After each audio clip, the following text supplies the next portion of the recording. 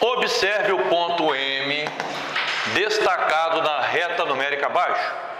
Essa reta está dividida em segmentos de mesma medida. O número representado por esse ponto é qual, hein? Vamos lá.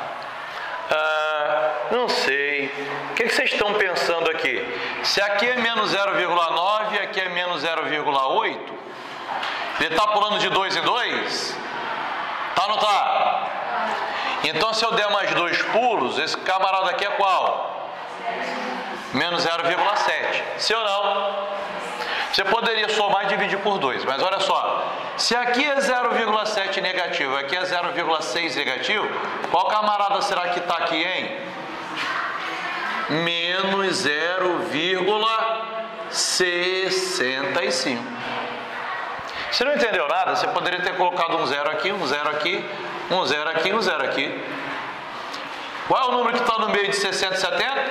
65.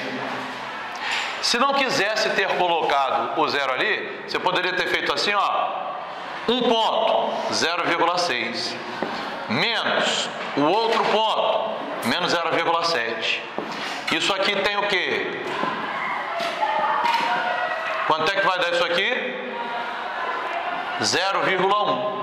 0,1 dividido por 2, multiplica aqui por 10. Então multiplica aqui por 10. Quanto é que dá 1 dividido por 20? Pode? Agora pode. 0,05. É ou não é? Então você tem o número. Opa, era assim, né?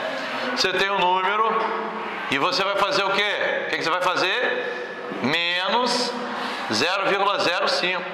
Vai dar quanto isso aqui? 0,6, 0,05. Se os sinais são iguais, eu vou somar os números. Somando os números. E aí, o sinal do maior deu certo ou não deu? Isso aqui é muito complicado, não é não? Dava para você ter enxergado assim? 0,60, 0,70 e o meio 0,65? Qual é a resposta correta? Letra C. É fácil ou não é? É. Vamos para a próxima.